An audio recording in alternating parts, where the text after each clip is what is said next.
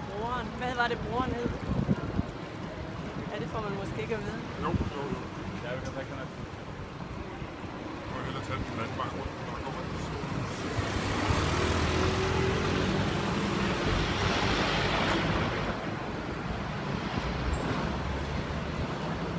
Hej, elskling.